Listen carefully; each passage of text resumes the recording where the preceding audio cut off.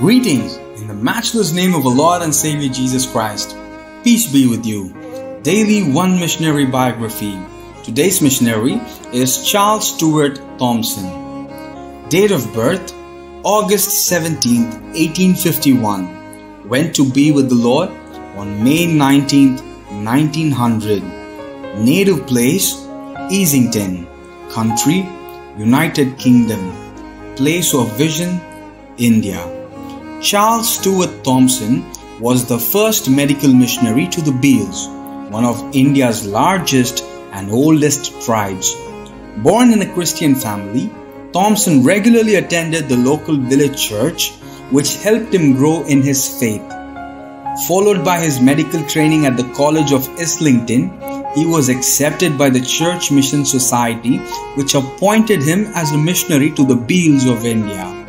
In 1881, he arrived at Kherwara Mission Station in Rajasthan where he started his ministry as a medical missionary.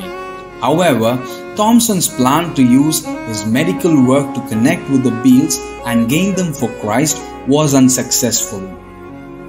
The Bhils of this region did not believe in Western medicine and considered English doctors violating their bodies. Therefore, to gain the people's trust, he ditched the hospital infrastructure and sat under a tree to administer medical treatment. Gradually, this makeshift arrangement proved successful and hundreds of people visited him from the surrounding villages daily to get their ailments treated. For the next 16 years, he traveled to Gujarat, Rajasthan and Maharashtra provided medical care and established clinics and dispensaries. While treating the people, he also shared the gospel with them. He also established several schools and published a prayer book in the Bhil dialect. His way of evangelism was personal and never asked people to accept Christ for physical benefits. Due to his efforts, the people slowly renounced their Bhil beliefs and traditions and started to believe in Christ.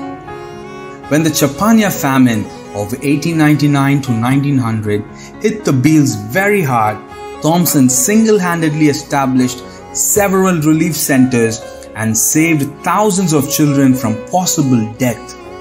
During that time, he fell ill from cholera and ceased from all his earthly labors and went to be with the Lord. Thompson's work laid the foundation for later mission works in the Bhil region.